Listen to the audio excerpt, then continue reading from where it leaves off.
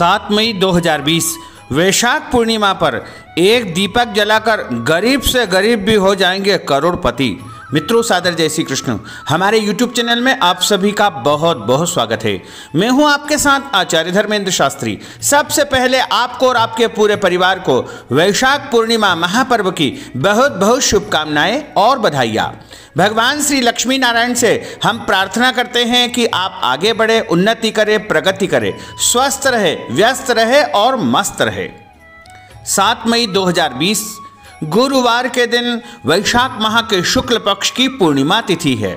वैसे तो पूर्णिमा प्रत्येक माह आती है, लेकिन वैशाख माह की जो पूर्णिमा होती है, उसका अपने आप में एक विशेष महत्व हमारे धर्म शास्त्रों में बताया है। क्योंकि इस पूर्णिमा को सभी देवताओं को अपना खोया हुआ साम्राज्य भगवान नारायण की कृपा से पुनः प्राप्त हुआ था। इसलिए सभी देवताओं ने इस पूर्णिमा तिथि को विशेष वरदान दिया है। यानी इस पूर्णिमा के दिन यदि कोई भी सिद्धि साधना करेंगे या लक्ष्मी प्राप्ति के कोई विशेष उपाय करेंगे तो उनके शीघ्र ही परिणाम आपको देखने को मिलेंगे।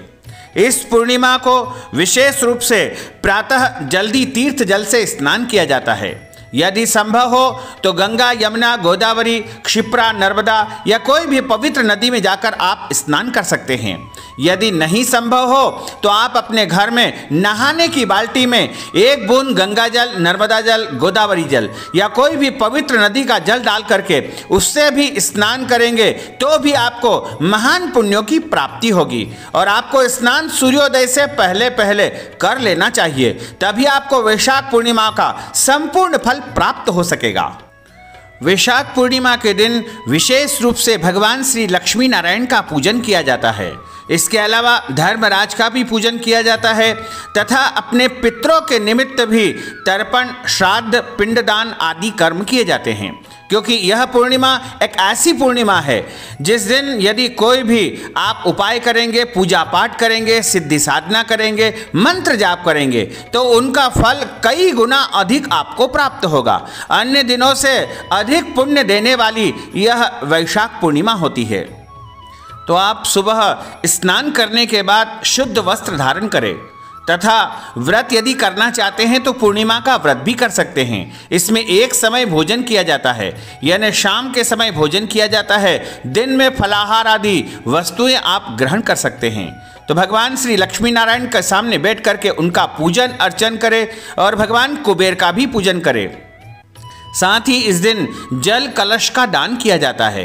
जल कलश के ऊपर कोई भी फल रख करके दान करने से अनंत फल की प्राप्ति होती है। तथा इस दिन शकर का दान भी किया जाता है, घी का दान भी किया जाता है।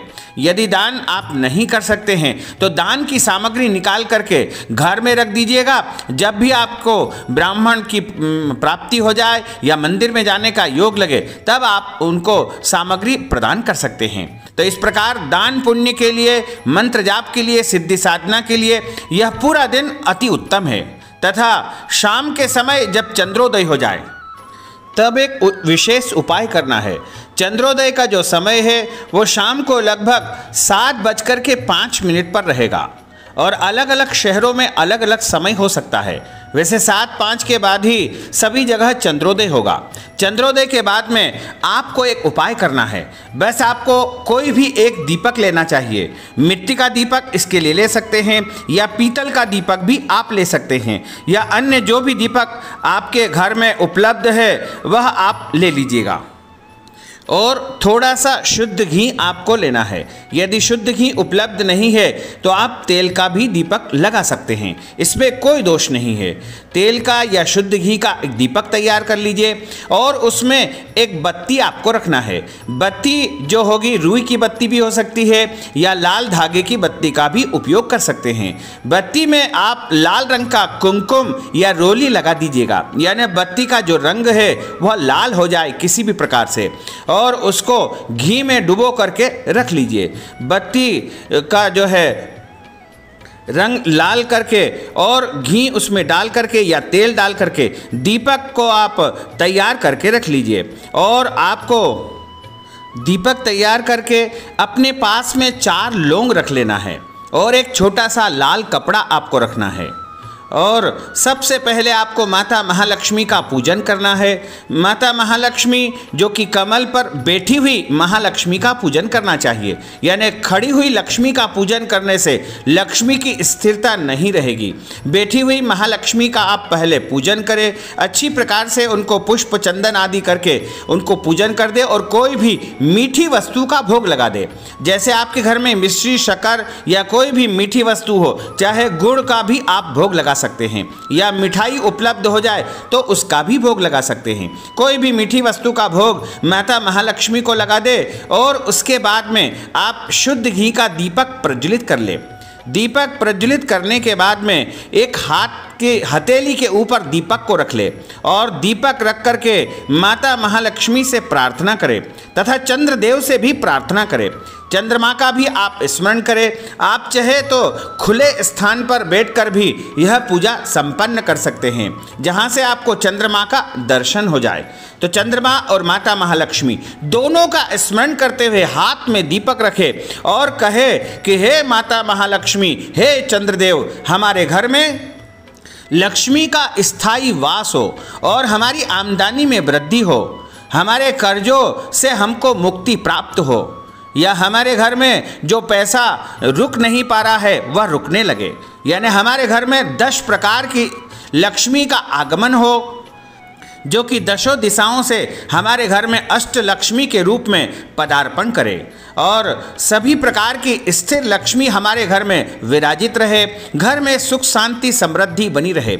इस प्रकार आप प्रार्थना करें और वह दीपक अपने माता जी के ठीक सामने यानी महालक्ष्मी के ठीक सामने थोड़ा से दूरी पर रख दीजिएगा।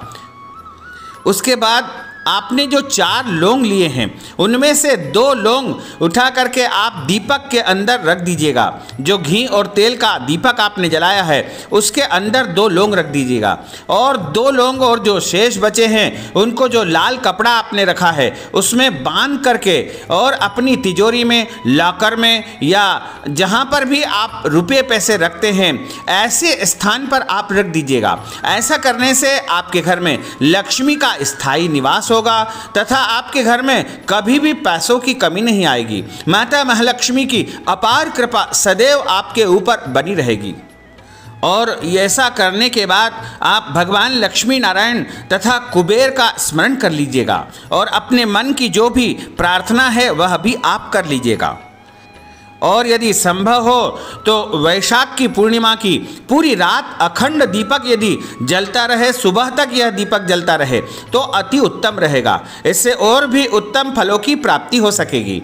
यदि अखंड दीपक जलाना संभव नहीं है तो आप कुछ समय के लिए, यानी जब तक आप जगते रहें, तब तक वह दीपक प्रज्वलित रहे तो भी उत्तम रहेगा। इस प्रकार का उपाय आपको पूरी श्रद्धा के साथ, पूरी भक्ति के साथ तथा भावना के साथ करना चाहिए, तभी उत्तम फलों की प्राप्ति होगी। क्योंकि धर्म ग्रंथों में, शास्त्रों में लिखा है कि विश्वासम फलदायकम। जब आप विश्वास रखेंगे, तभी आपको उत्तम फलों की प्राप्ति हो सकेगी।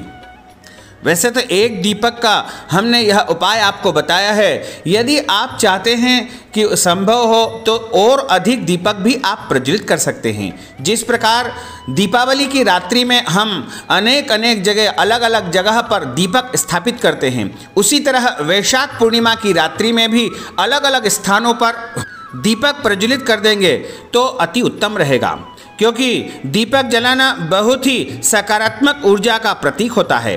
दीपक के धुएँ से वातावरण में मौजूद हानिकारक सूक्ष्म कीटाणु नष्ट हो जाते हैं। दीपक अंधकार और नकारात्मकता को मिटा करके प्रकाश फैलाता है। इसी वजह से हमारे घर में प्रत्येक दिन सुबह और शाम दीपक लगाने की परंपरा लगातार आदि अनादि काल से चली आ रही है। जिन घरों पर वैशाख की पूर्णिमा में मुख्य द्वार पर दीपक लगाते हैं, वहाँ पर माता महालक्ष्मी और नारायण का प्रवेश होता है। इसलिए मुख्य द्वार के ऊपर भी दीपक जलाना चाहिए। ध्यान रखना चाहिए कि दीपक से कोई अन्य वस्तु प्रभावित न हो। दीपक को ऐसी दूरी पर लगाना चाहिए और ऐसी व्यवस्था करना चाहिए कि दीपक को जो है किसी भी प्रकार से किसी का हाथ, पैर या अपमानित तरीके से पाँव नहीं लगे, ऐसे स्थान पर, सुरक्षित स्थान पर दीपक को रखना चाहिए। तो यह उपाय यदि आप वैशाख की पूर्णिमा को रात्रि के समय करेंगे तो आपको उत्तम परिणाम देखने को मिलेंगे और आपकी आर्थिक समस्याओं का निदान जल्द ही आपको मिल जाएगा और आपके घर में सुख, शांति तथा समृद्धि का वास होगा। तो भक्तजनों, हमने जो ज्ञानवर्धक जानकारी आपको प्रदान की है, उसको आप अधिक से अधिक लोगों को शेयर करिएगा लाइक करिएगा कमेंट करिएगा, और यदि अभी तक आपने सब्सक्राइब नहीं किया है तो अभी और इसी समय सब्सक्राइब अवश्य कर लीजिए। आपको और आपके पूरे परिवार को सादर जय श्री कृष्ण। सादर धन्यवाद।